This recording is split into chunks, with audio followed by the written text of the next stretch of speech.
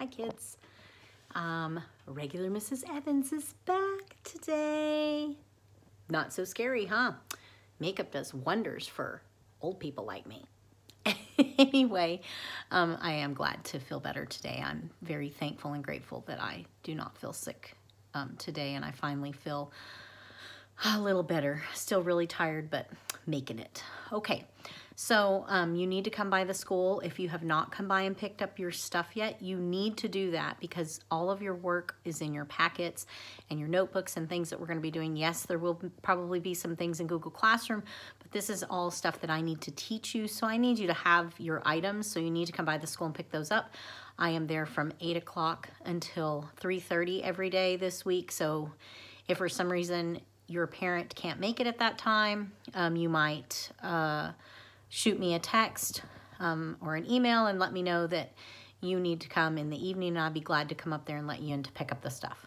Okay, so we are gonna be still doing our word nerd. So it's important that you went and picked up your interactive reading notebook and we're going to be reading a story this week called Satchel Paige and it is a biography which goes with our pumpkin biographies that we did and so we will be doing a word each day that goes with the story. So let me flip the camera around and you will put this word in your word nerd. I think we're on week either 10 or 11.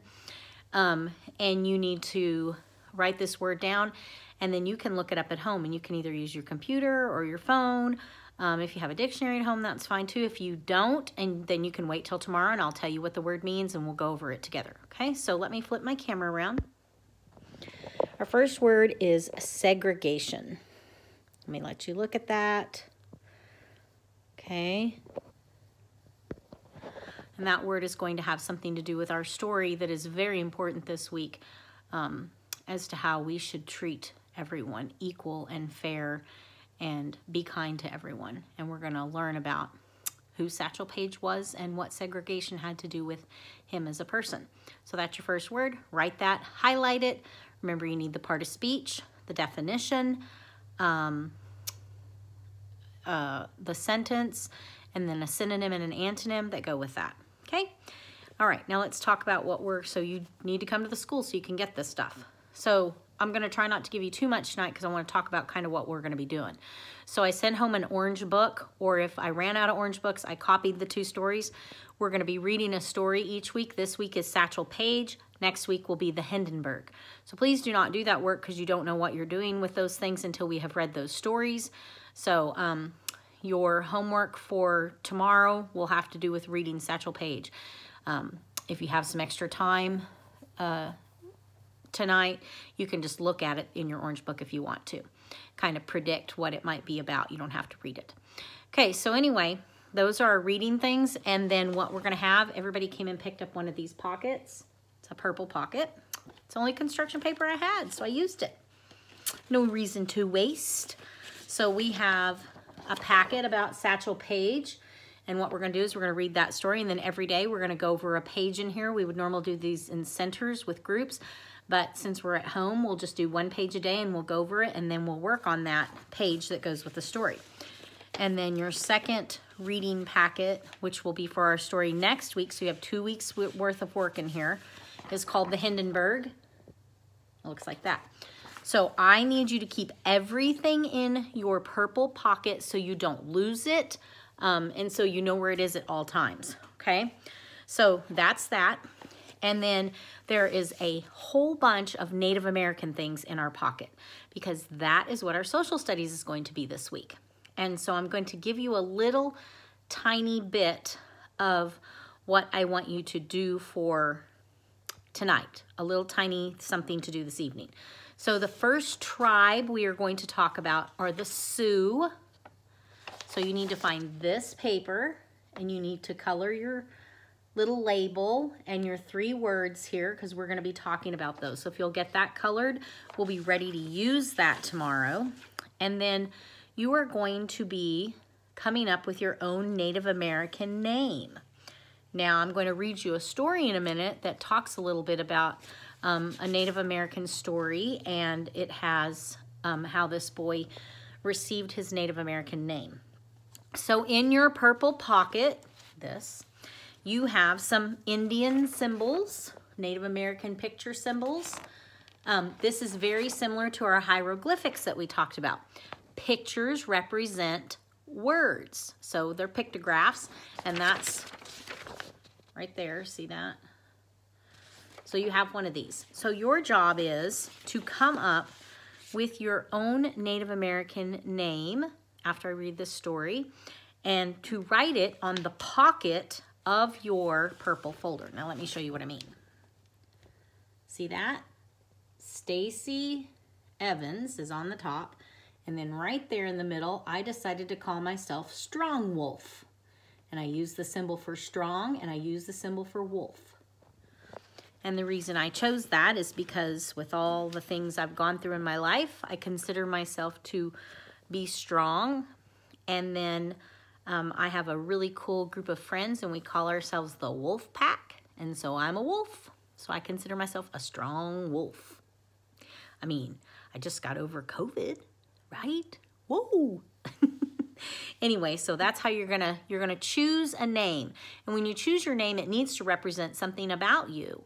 And so you can use those picture symbols to use pictures like I did to be picking out a name, or you may create your own picture to represent a word if there's not a picture on there for a word that you like.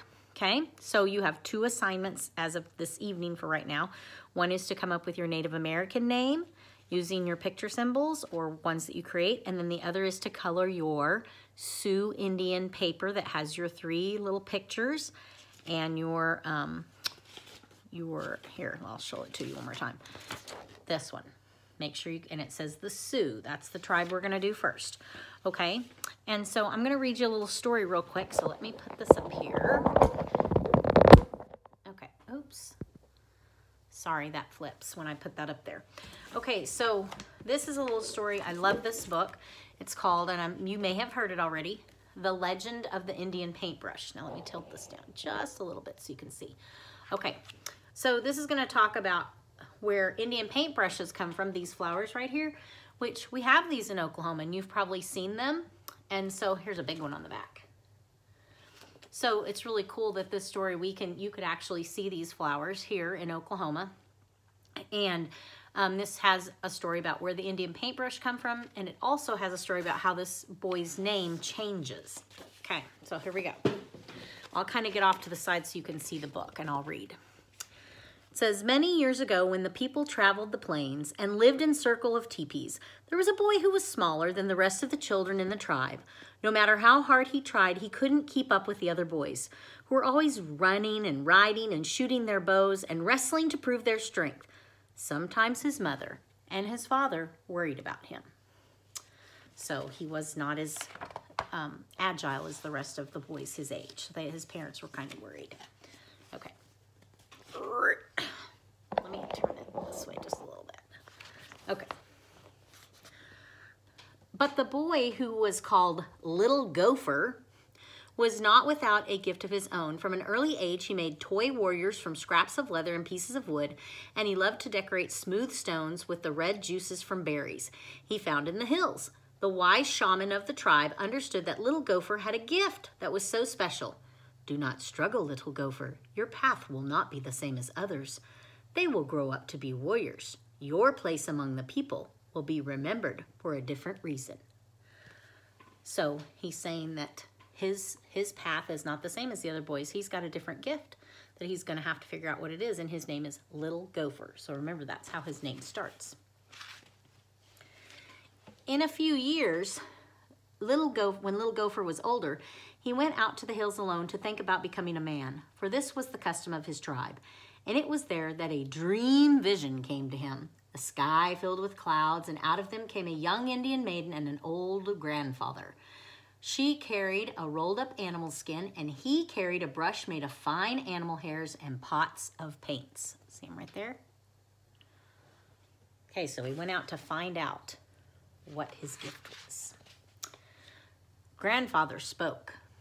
My son, these are the tools by which you shall become great among your people. You will paint pictures of the deeds of the warriors and the visions of the shaman, and the people shall see them and remember them forever. The maiden unrolled a pure white buckskin and placed it on the ground. Find a buckskin as white as this, she told him. Keep it, and one day you will paint a picture that is as pure as the colors in the evening sky. So they're telling him he's going to be painting something. And they've given him the brushes and the pot and then a white buckskin. And as she finished speaking, the clouds cleared and a sunset of great beauty filled the sky. Little Gopher looked at the white buckskin and on it he saw colors as bright and beautiful as those made by the setting sun. There she is up there. Then the sun slowly sank behind the hills and the sky grew dark, and the dream vision was over. Little Gopher returned to the circle of the people.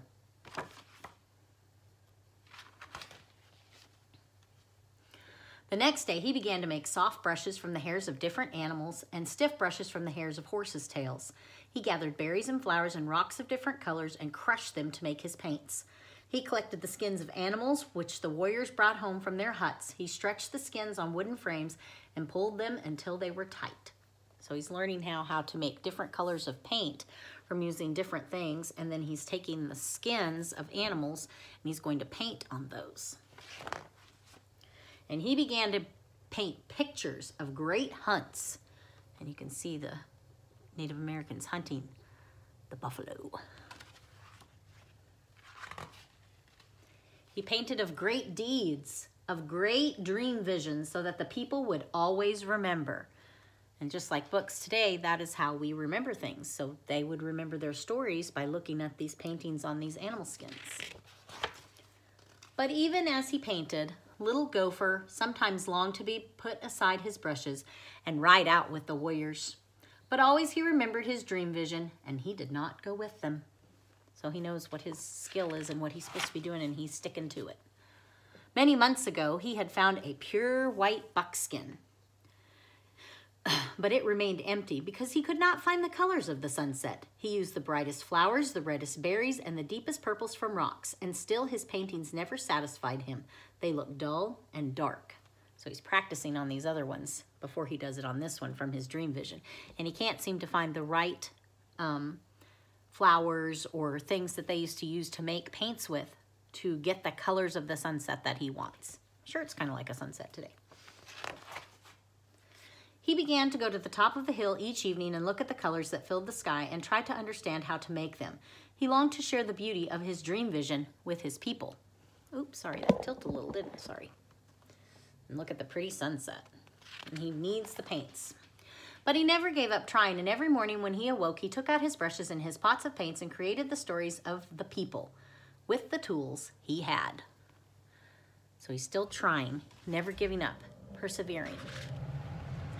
One night he lay awake. He heard a voice calling to him, Because you have been faithful to the people and true to your gift, you shall find the colors you are seeking. Tomorrow, take the white buckskin and go to the place where you watch the sun in the evening. There on the ground, you will find what you need. So somebody's telling him that he's going to find the right flower or the right plant to make this color of the sunset that he's been wanting to make. The next evening, as the sun began to go down, little Gopher put aside his brushes and went up to the top of the hill. As the colors of the sunset spread across the sky, and there, on the ground, all around him were brushes filled with paint each one the color of a sunset. Little Gopher began to paint quickly and surely using one brush and then another. So here's all the little paint brushes filled with paint and they're all the colors of the sunset. And as the colors in the sky began to fade, little Gopher gazed at the white buckskin and he was happy. He had found the colors of the sunset. He carried his painting down to the circle of the people, leaving the brushes on the hillside. So he left all his brushes up here and took his painting on the white buckskin. And the next day, when the people awoke, the hill was ablaze with color, for the brushes had taken root in the earth and multiplied into plants of brilliant reds, oranges, and yellows. And every spring from that time, the hills and meadows burst into bloom.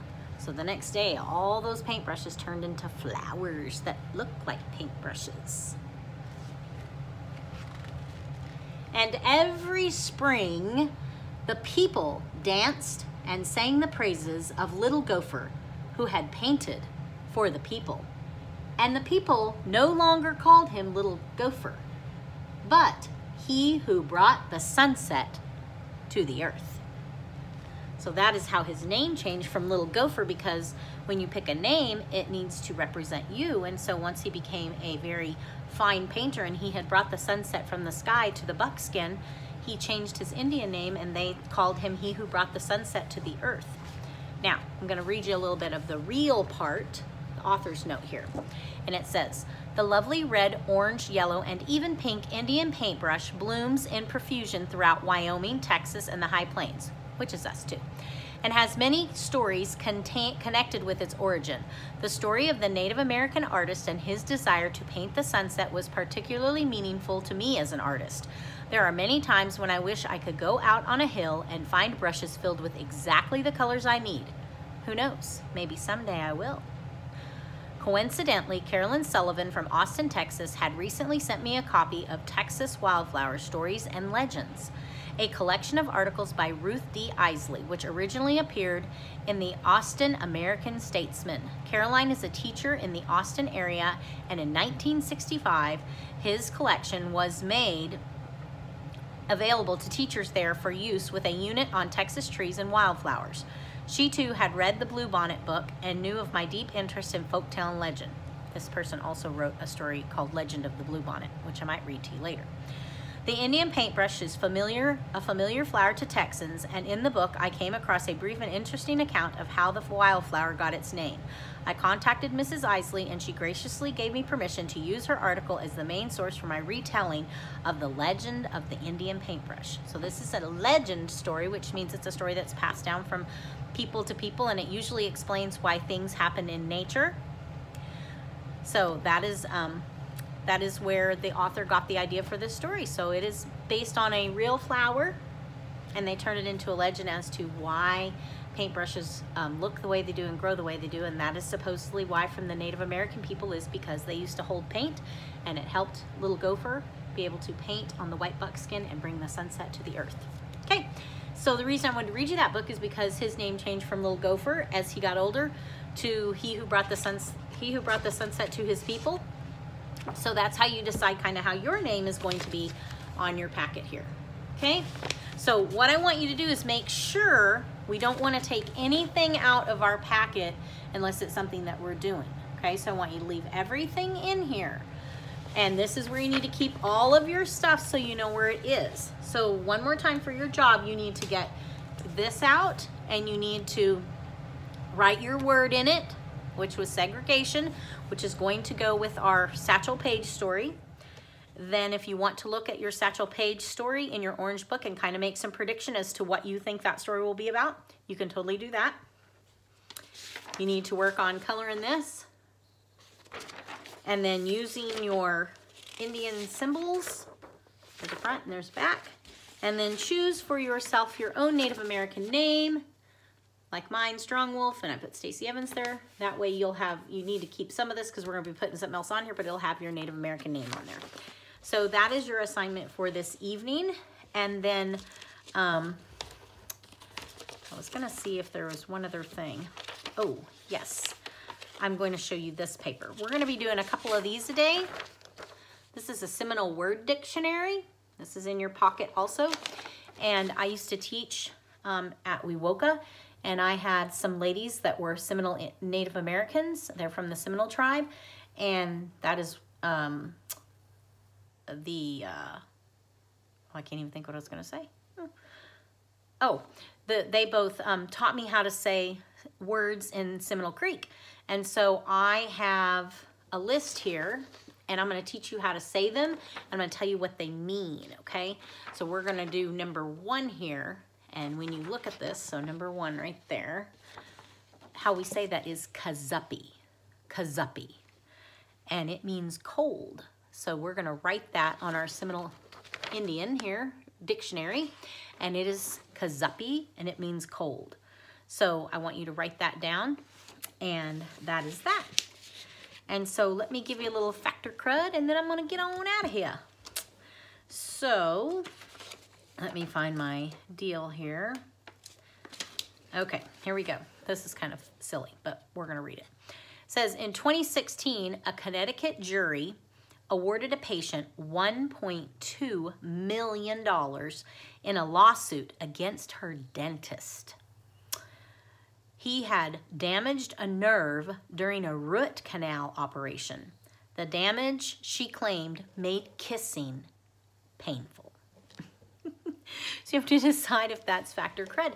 Did this lady actually sue her dentist because he did a root canal, which made it hard for her to kiss because it hurt her mouth afterwards? So you have to decide if that is fact or crud. Okay, so that is our factor cred for today. Tomorrow I also am going to be reading to you. We're going to be doing some reading.